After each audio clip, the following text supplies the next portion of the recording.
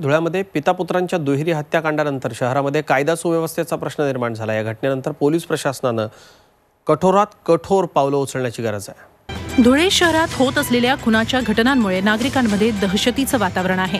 रावसाहेब आणि त्यांचा मुलगा वैभव पाटील यांची निर्घुण हत्या करण्यात आली.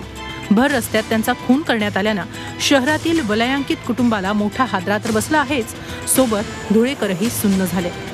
या प्रकरणी पोलिसांनी बाजीराव पवार जयराज पाटील हर्षल पाटील आणि भूपेंद्र पाटील या चौघांना अटक केली आहे. पूर्व वैमनस्यातून ही घटना घडली असली तरी पोलिसांच्या अस्तित्वावरच प्रश्नचिन्ह निर्माण झालंय.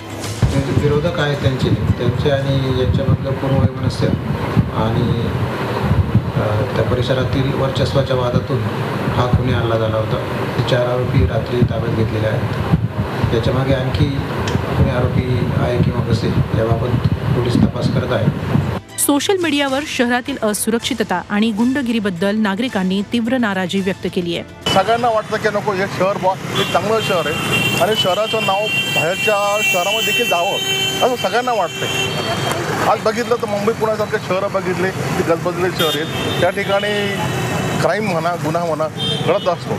तशा पद्धतीने ह्या धुळे शहरामध्ये घडू नये असं आम्हाला वाटतं. कुठलाही मुलाहिजा न ठेवता पोलिसांनी कठोर पावलं उचलली तरच जिल्ह्यातील गुन्हेगारीला अटकाव बसणार आहे. राजकीय सामाजिक आणि आर्थिक क्षेत्रात काम करणाऱ्या सर्वच घटकांनी एकत्र येऊन या धुळे शहराच्या विकासासाठी हातभार लावला पाहिजे आणि इथे नवनवीन उद्योग आणले पाहिजे. व्हिडिओ जर्नलिस्ट किशोरसोबत प्रशांत परदेशी झी मीडिया धुळे. झी चोवीस तास. रहा एक पाऊल पुढे.